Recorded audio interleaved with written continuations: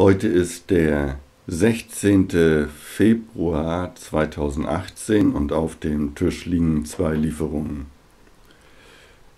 Meine 50. Medimops-Bestellung und darunter die 60. Rebay-Bestellung und um die 60. Rebay-Bestellung soll es hier in diesem Video gehen. Wird auch gleich geöffnet. So, hallo. Wie gesagt, es soll um diese Rebay-Lieferung gehen, die habe ich heute bekommen. Seitlich habe ich das schon mal angeschnitten, eben gerade.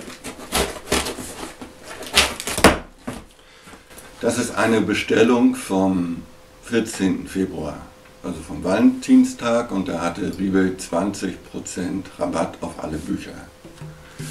Und diese Lieferung soll enthalten 17 Artikel von den 17 Artikeln sind 13 Bücher, zwei Atlanten, sehr länderspezifisch, einer zu Britannien, ein anderer zu Japan und zwei Karten. Und ich will mich hier eigentlich zu den Büchern äußern und äh, um das vorwegzunehmen, ähm, die meisten Bücher handeln von Japan. Es sind auch zwei japanische Klassiker dabei. Ja.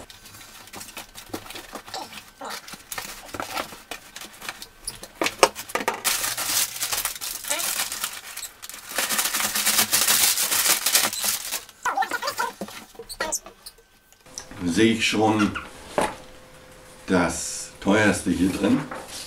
Also muss ich dazu sagen, die ganze Bestellung kam ursprünglich, ähm, also der reine Warenwert ohne Versand 99 Euro, 20% Rabatt, das sind dann knapp 20 Euro. Und der teuerste Posten, das ist, Moment, das ist ein altjapanischer, na ich sage mal Liebesroman. Der kam eigentlich, ja jetzt finde ich das hier gerade nicht, der kam 44 Euro. Und das ist eine Ausgabe vom Manesse Verlag. Und das ist er hier. Das ist die Geschichte vom Prinzen Genji.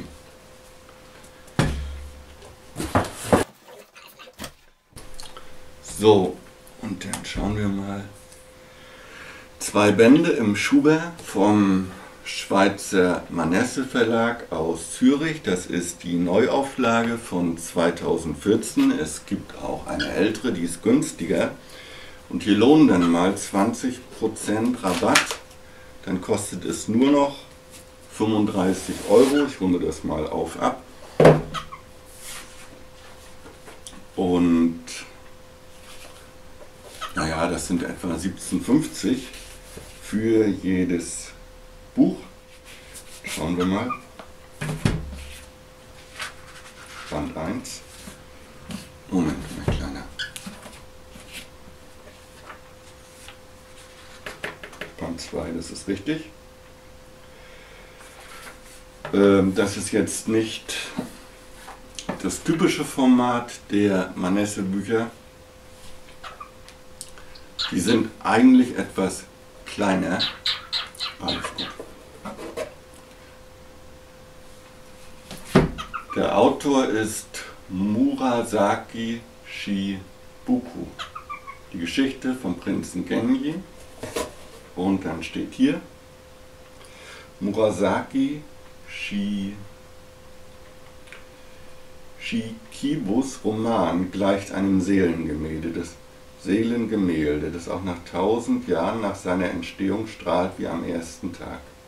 In 54 Kapiteln entfaltet die schreibende Hofdame ihre universale Kenntnis menschlicher Leidenschaften, die weit über ihre Zeit und Japan hinaus reicht.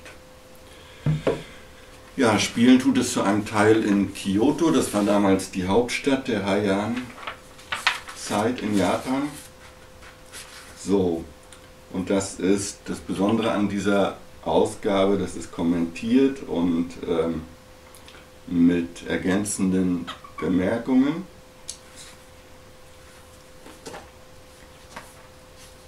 Ja. Ist ja gut, mein Kleiner. So, und dann steht hier auf dem separaten Zettel noch ähm, mit psychologischem Feingespür führt sie ihren Helden, Genji, den Leuchtenden, von Liebesprobe zu Liebesprobe, blickt hinter Bambusvorhänge und Wandschirme und erzählt in unvergesslichen Szenen vom Leben am kaiserlichen Hof der Heianzeit. Ein weltliterarisches Juwel, ein weises, reiches Zeugnis der Liebe. Das ist die limitierte Liebhaberausgabe mit japanischen Prachtleinen und Schmuckschuber. Und da muss ich gleich aufpassen, dass der Vogel das hier nicht anknabbert. Ja, ja, ja, ja, ja. So, bestellt habe ich das im Zustand sehr gut. So wie ich das sehe, ist das erstmal sehr gut. Der Manesse Verlag hat auch immer eigentlich eine sehr gute Papierqualität. Und das kostet neu bei Amazon 59 Euro. So. Moment. Da freue ich mich drauf. Bleibt noch zu sagen, das sind knapp 2000 Seiten und das ist die Auflage von 2014. Es gibt auch eine ältere, und das finde ich toll, dass ich auch das bekommen habe, was ich bestellt habe. Das ist nicht immer so selbstverständlich, egal ob bei Rebay oder bei Medimobs. Machen wir anders, dass das Teil hier nicht erschlägt.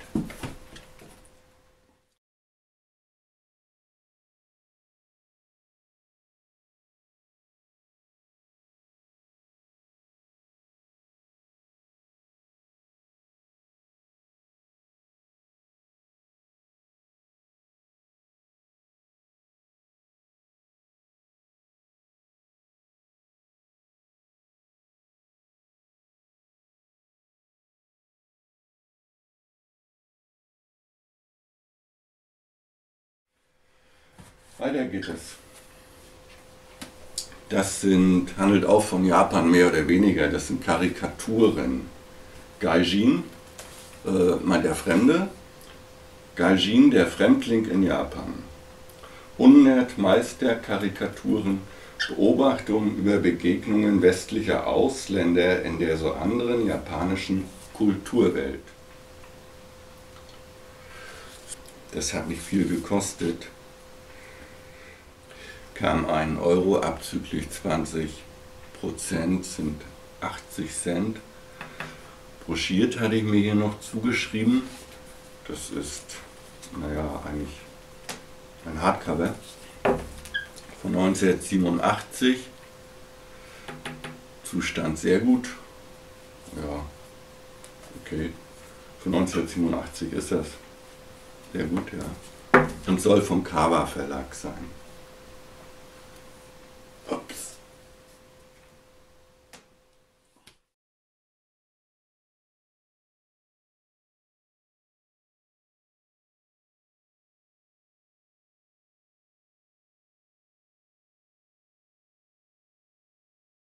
Und weiter geht's.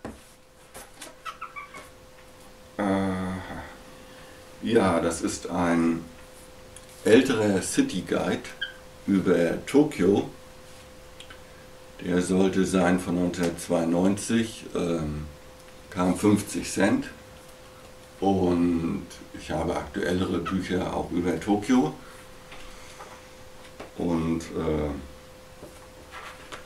was, ich habe es mir bestellt, weil ich hier ähm, alte Aufnahmen von Tokio sehen wollte. Ja. Mhm. Also wie Tokio Ende der 80er Jahre, Anfang der 90er aussah die Bildbände, die ich selber von Tokio habe, die sind, oder auch Reiseführer, die sind moderne. So, und diese ähm, APA City Guides sind eigentlich vom Polyglot Verlag und für 50 Cent kann man nicht allzu viel falsch machen. Und dann gehen ja immer noch die 20% ab, aber das spielt hier nicht so die Rolle.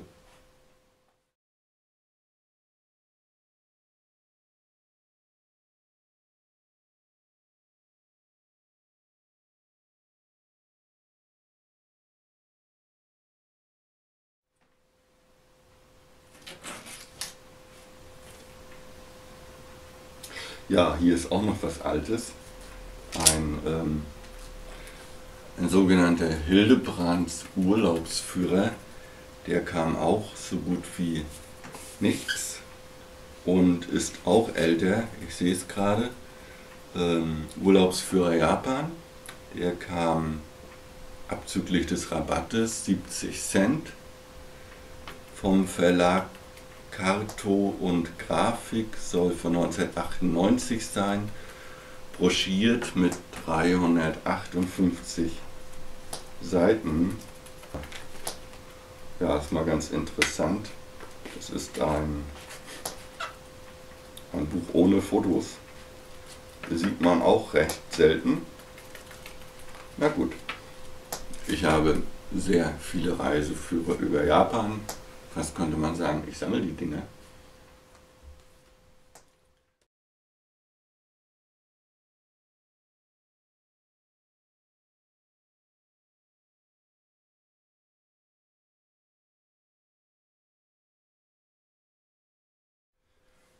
So, dann kommen wir zu einem japanischen Klassiker.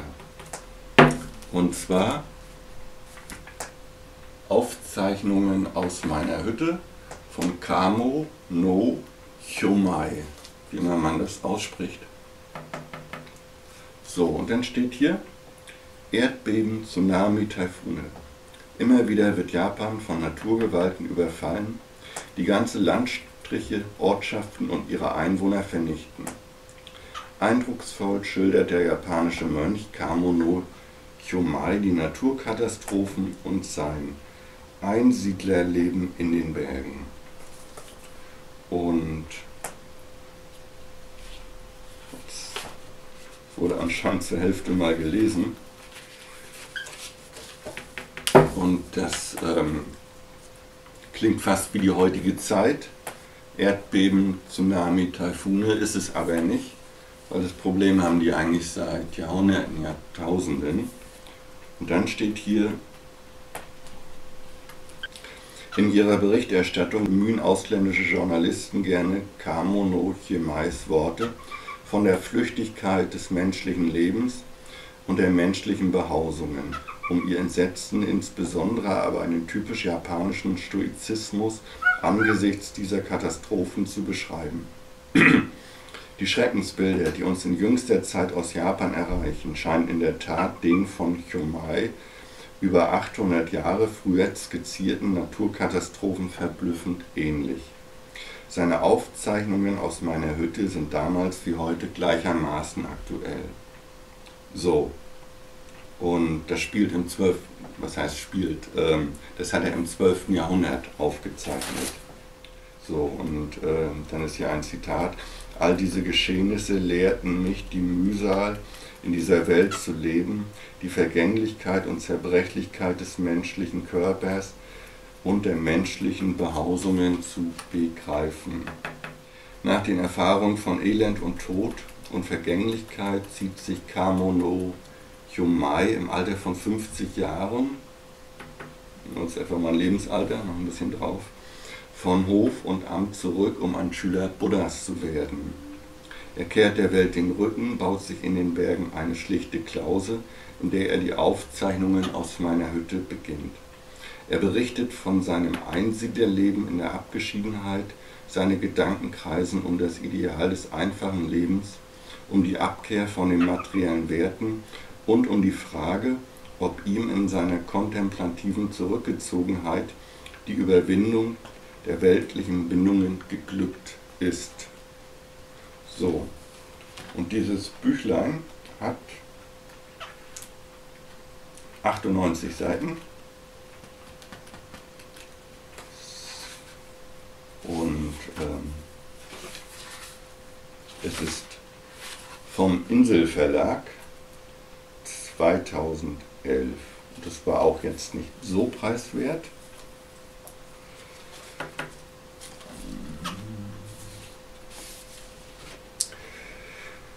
Für das Buch ähm, wollte Rebate 12,50 Euro haben und abzüglich des Rabattes waren es dann nur noch 10 Euro.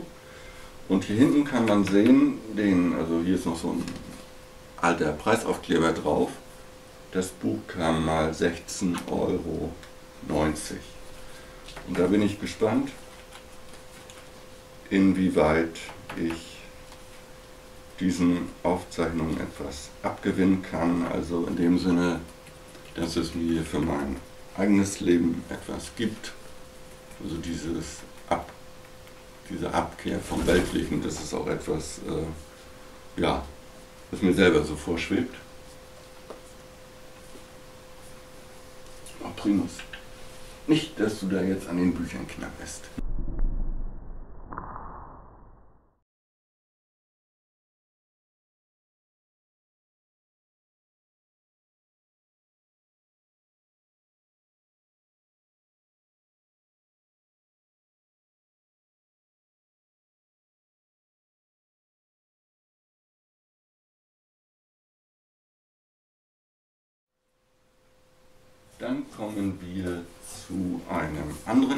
Japanischen Buch. Das sind Kurzgeschichten. Yasunori Kawabata, das war der erste japanische Literatur-Nobelpreisträger. Und heute haben sie zwei mittlerweile, aber Kawabata war der erste. Ich meine, er bekam ihn 1968 für sein Buch Schneeland. So, und das sind neue Handtellergeschichten aus dem Hansa Verlag. Es gibt auch ein Buch, das nennt sich nur Handtellergeschichten. Handtellergeschichten heißen sie, weil sie so knapp sind, dass man sie auf einen Handteller schreiben könnte. Und dabei sind sie so reich an Bildern und Themen, so vielschichtig und vieldeutig, dass sich aus jeder von ihnen im Kopf des Lesers ein ganzer Roman entspinnt. Sie führen uns mitten hinein in das japanische Leben, das zwischen Fremden und Vertrauten oszilliert. Das Verhältnis zwischen Männern und Frauen, die Beziehung zur Natur und zum Tod. Und sie bilden das Herzstück und zugleich die beste Einführung in das Werk Kawabatas, da er in dieser kurzen Form, die er Zeit seines Lebens gepflegt hat, seine Erzählkunst zur Vollendung brachte. Siegfried Scharschmidt hat als Schlussstein seines übersetzerischen Werkes eine neue Auswahl dieser Geschichten für deutsche Leser zusammengestellt. Und dann ist hier ein Zitat der Zeit. Der Handteller des Menschen ist groß genug für, die, für einen kleinen Spiegel. Und wie Spiegel funktionieren auch Kawabatas Geschichten. Sie verändern sich mit dem Leser. So, wie gesagt, vom Hanser Verlag und das ist eine Auflage von 1999. So. Und ähm, soll 120 Seiten haben, das habe ich jetzt nicht nachgeguckt. Kam 3,30 Euro. Ich habe dann bezahlt abzüglich der 20 Prozent so um 2 Euro.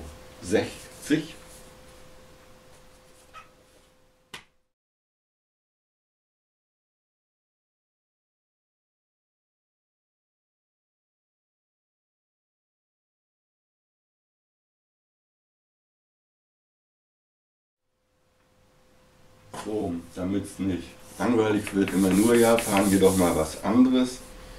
Ein Taschenbuch das geheime Bewusstsein der Pflanzen. Darüber habe ich auch schon einige Bücher gelesen mit dem Untertitel Botschaften aus einer unbekannten Welt, Knauer, also Verlag. Und das ist von Josef Scheppach. Wollte ich hier noch nachtragen, bei dem Buch mit den Handtellergeschichten habe ich im Zustand sehr gut gekauft oder bestellt. Und so wie ich das sehe, ist es auch sehr gut. Das habe ich ebenfalls im Zustand sehr gut bestellt und ja, es ist auch sehr gut. Das soll von 2016 sein und schauen wir mal. Ja, vollständige Taschenbuchausgabe August 2016.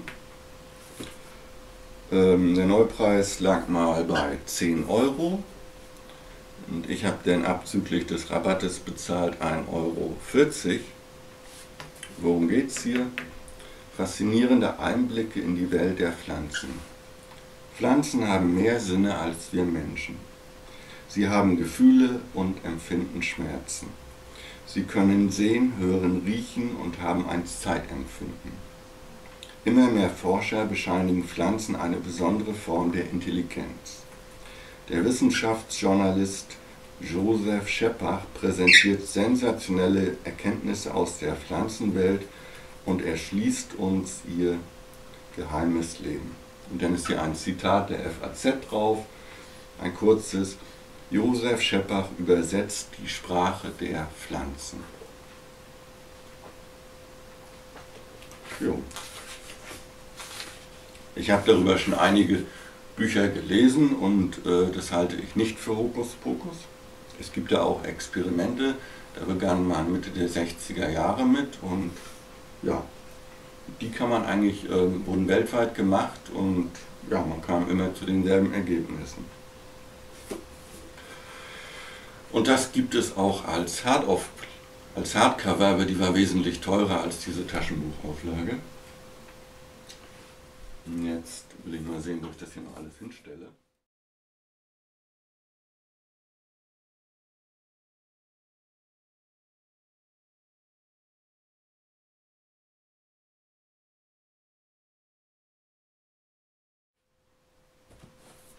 Greife das hier mal immer von oben weg. Ein ganz anderes Thema. Von Omram Mikhail Ivanov. Yoga der Ernährung. Der Autor, ich weiß gar nicht, ob er noch lebt, äh, das ist ein Bulgare. Und ja, sowas wie ein Guru, ein europäischer Guru. So, und du kommst mal her. Und ähm, ich habe von ihm schon ein Buch, ähm, das geht über den Atem, über richtiges Atmen. Und hier geht es im Prinzip über richtiges Essen. Ja. Also es geht jetzt nicht um Kalorien, um Vitamine, um Nährstoffwerte, darum geht es hier nicht. Aha, ich sehe gerade, er ist tot. Also er lebte von 1900 bis 1986, äh, französischer Philosoph und so weiter und Pädagoge. Ja. Und dann steht hier, ähm, dieses Buch ist kein Diäthandbuch. Für Meister Omram Michael Alvanov kommt es nicht so sehr darauf an zu wissen, was oder wie viel man essen soll, sondern wie man isst und welche Einstellung man zur Nahrung hat. Der, den Leser mag vielleicht die außergewöhnliche Überlegung erstaunen, das Essen aus seiner täglichen Banalität zu lösen, um ihm wieder die geistige Bedeutung eines heiligen Abendmahles zukommen zu lassen. Aber selbst derjenige, dem diese spirituelle Einstellung fremd ist, wird nachvollziehen können, wie er durch seine Einstellung zur Nahrung ein tieferes Verständnis der Beziehung zwischen Mensch und Natur gewinnen kann. Na, vergiss das mal, du kommst gleich ab. ab, ab. So, denn es ist die Natur, die dem Menschen seine Nahrung gibt. Durch seine Gedanken und Gefühle kann der Mensch jene höchst subtilen Elemente der Nahrung aufnehmen, die zur Entfaltung seines ganzen Wesens beitragen. Ja, das ist wie gesagt vom Pros Veda Verlag und das soll ein, eine Auflage von 2007 sein. Ja gut, jetzt steht hier 2004, das ist auch nicht so schlimm und es soll 152 Seiten haben. Ja, mit der Werbung, die da noch drin ist, also der eigentliche Text sind 141 Seiten. Und ähm, dafür habe ich bezahlt 3,70 Euro. Kann man das sehen, so sieht er aus. So wie, wie einer der alten, der alten Propheten des Alten Testaments. Ja.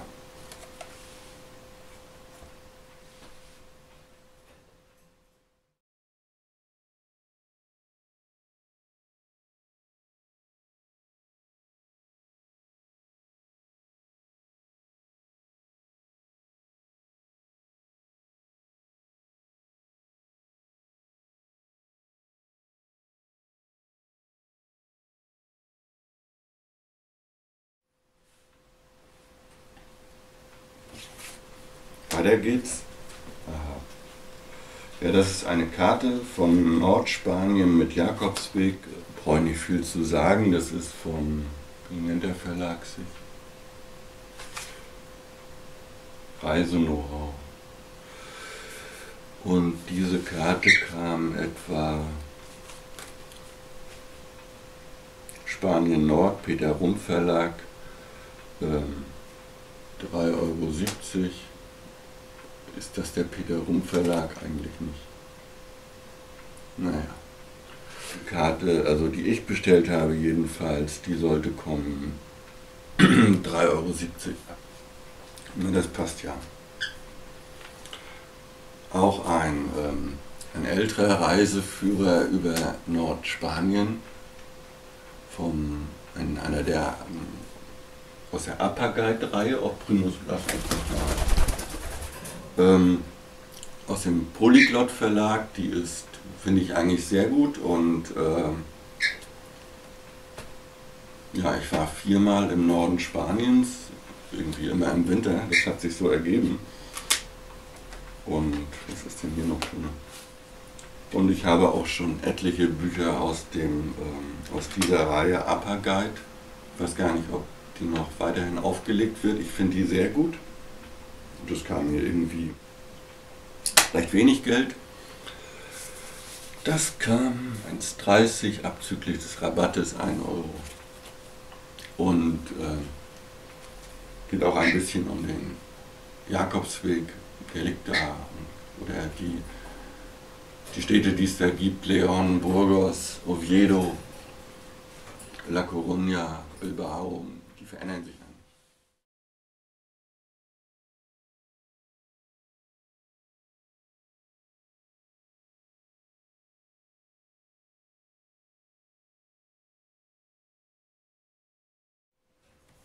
So. Aha. Und wieder eine andere Thematik. Hier geht es um Spiritualität von Williges Jäger, anders von Gott reden. Und dieser Autor, Williges Jäger, das war ein, ich meine, ein Benediktinermönch, also er ist christlich geprägt.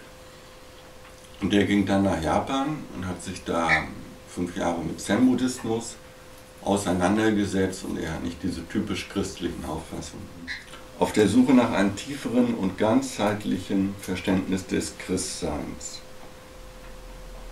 Und was steht hier? Er interpretiert in seinem Buch biblische Texte, Ereignisse und Personen in einer neuen, ungewohnten Sichtweise als symbolische Darstellung einer kosmisch-göttlichen Botschaft. Die Evolution des Seins und des Lebens, den Menschen und die Natur als Manifestationen Gottes, im Prinzip auch wie im Hinduismus, da wird die Natur auch als Manifestation Gottes begriffen. Gott ist für ihn das Urprinzip, die Urkraft, die sich in jedem Augenblick ereignet. Seine Schöpfung ist sein Tanz, der Mensch ein Tanzschritt, eine Welle im Meer des Göttlichen. Die christliche Botschaft wird erweitert und vertieft Christliche Feste erhalten durch seine Deutung und Erklärung eine mystisch-spirituelle Dimension, werden als Möglichkeiten zur Wiedergeburt, Auferstehung und Erfahrung des Göttlichen im Menschen gesehen und dargelegt. Die Denkanstöße des Autors, seine klare, eindringliche Sprache faszinieren und überzeugen. Dieses Büchlein, das kam kamen 6,80 Euro, abzüglich des Rabattes 5,40 Euro. Gebunden hatte ich mir notiert, Zustand sehr gut, soweit ich das sehe, ist der Zustand sehr gut. Und es ist vom Via Nova Verlag, soll die dritte Auflage sein von 2008. Aha, ist die erste Auflage von 2007, aber gut, da wird sich nicht so viel geändert haben. Und es hat 115 Seiten.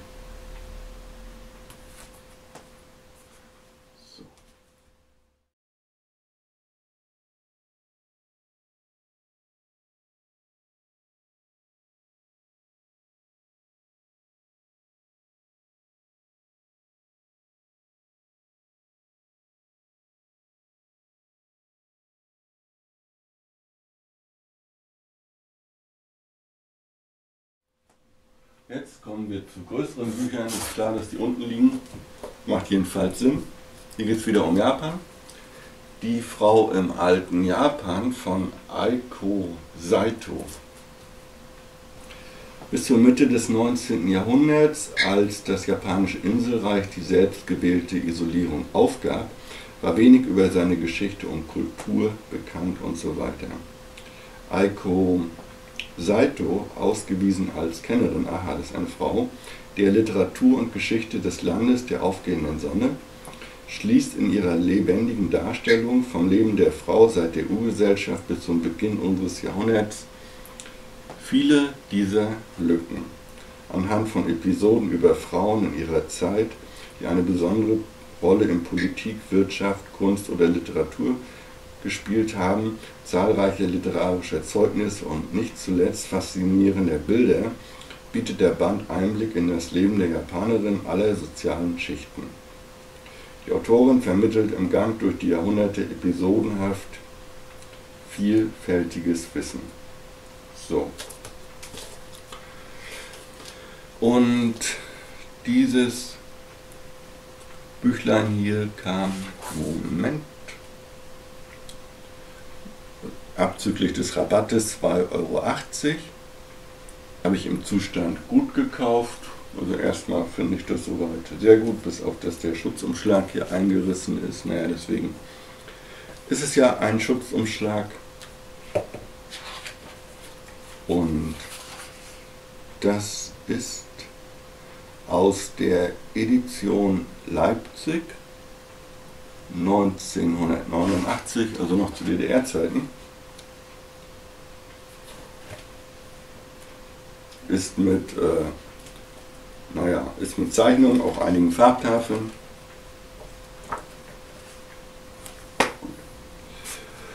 Und es hat 203 Seiten. Jetzt werde ich das hier mal anders machen.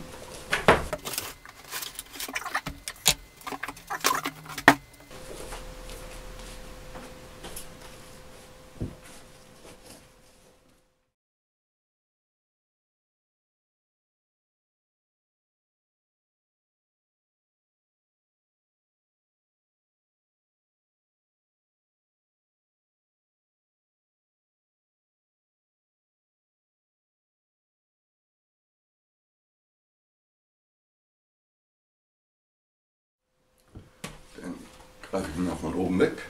Das ist ein alter Bildband über Tokio, der kam auch so gut wie nichts.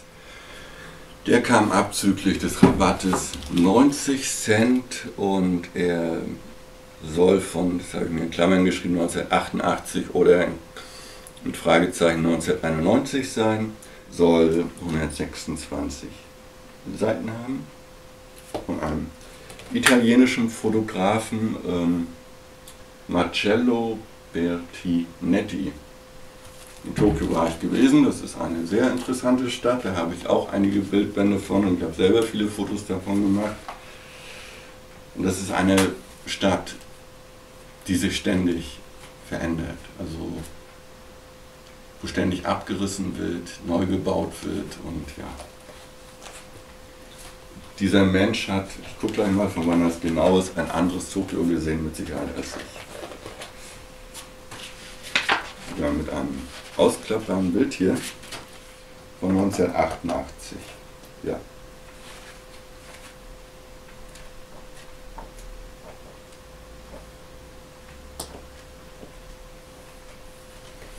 Eine faszinierende Stadt. Kann ich jedem empfehlen, der sich dafür überhaupt für Fernost interessiert, dahin zu fliegen. Für 90 Cent ist das sehr gut.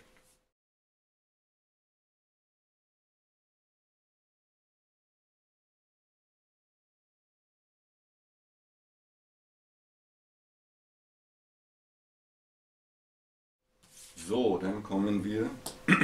Aha.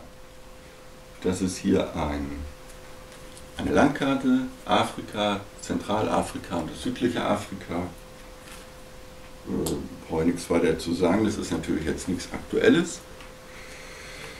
Da habe ich um die 90 Cent abzüglich Rabatt sind es dann 70 Cent, soll von 1982 sein. Ja. Wenn ich mal genau etwas nachsehen will, also genauer wird mir der Atlas, den ich habe, nicht helfen, dann nehme ich solche Landkarten.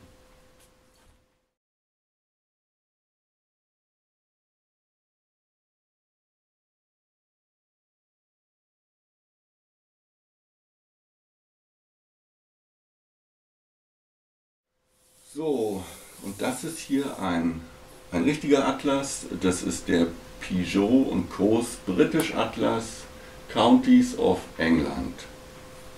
Ähm, das ist so historisch nachempfunden. Das ist in Englisch das Buch. Und was kam es? Abzüglich des Rabattes 1 Euro 50 ähm, gebunden von 1987 im Zustand gut, soll 168 Seiten haben. Ja. Das soll ein kompletter Atlas von Japan sein. Der war etwas teurer. Der kam abzüglich des Rabattes 4,70 Euro. Japanische Ausgabe in Englisch, gut. Ja. Vom Klettverlag. Also ich habe eine Landkarte von Japan, ich habe ein, ein Buch und dieses Buch ist ein Stadtplan von Tokio. Aber das ist schon alles etwas detaillierter hier. Und was ich habe, sind äh, kleine Karten von den Gebieten, in denen ich war. Die gibt es dann bei den Tourismusämtern.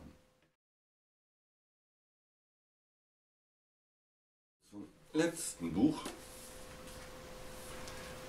Ähm, 36 Dichterinnen des alten Japan von Andrew Pekarik vom Dumont Verlag. Für abzüglich des Rabattes 4,60 Euro. Das ist vom Dumont Reiseverlag. Schau ich mal. Von 1992. Und dann steht hier 36 Dichterinnen des alten Japan. Höfische Dichtkunst der Heian- und Kamakura-Periode 9. bis 13. Jahrhundert. Ein Album mit Illustration Shobonsai Aishi, Einführung, Kommentar und Übersetzung von André Pekarik, Dumont Verlag. Habe schon, es gibt ein sehr bekanntes Buch, das ist das sogenannte Hof, nein, das, ähm, das Kopfkissenbuch der Hofdame Sai Shono. Das ist bekannt, das ist ein Klassiker in Japan und ich denke, dass sie hier mit drin vorkommen wird. Und ähm, dass das hier eine Frau ist, wusste ich nicht. Also mit dem Namen Murasaki, das kann ich jetzt nicht so deuten. Männlich, weiblich, nun habe ich hier gelesen, ist eine Dichterin, dann wird die wahrscheinlich hier auch drin vorkommen. Es ist mit Bezeichnung ein ähnliches Buch aus der Reihe. Ähm, die Wanderung des Mönchs Itten ist auch vom Dumont Verlag. Ja, gut.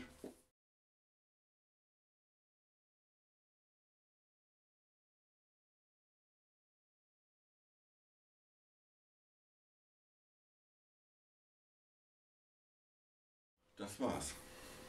Dann hoffe ich, dass es vielleicht irgendwie gefallen hat oder Interesse gefunden hat oder äh, irgendeine Art von Inspiration zum eigenen Lesen auslösen konnte. Ich will nicht sagen, dass hier für jeden irgendetwas dabei war, aber die Themen waren ja doch mehr oder weniger etwas, naja, ich traue mich mal zu sagen, vielfältig. Also gut, es war einiges über Japan, aber es war auch etwas über Pflanzen dabei, es war etwas über Spiritualität dabei äh, und es war etwas über, ich sage mal, über richtiges Essen dabei und auch hier ein, ein Roman ist Hier diese Handhellergeschichten, diese Kurzgeschichten. Na gut, okay. Dann bedanke ich mich für die Aufmerksamkeit. Tschüss.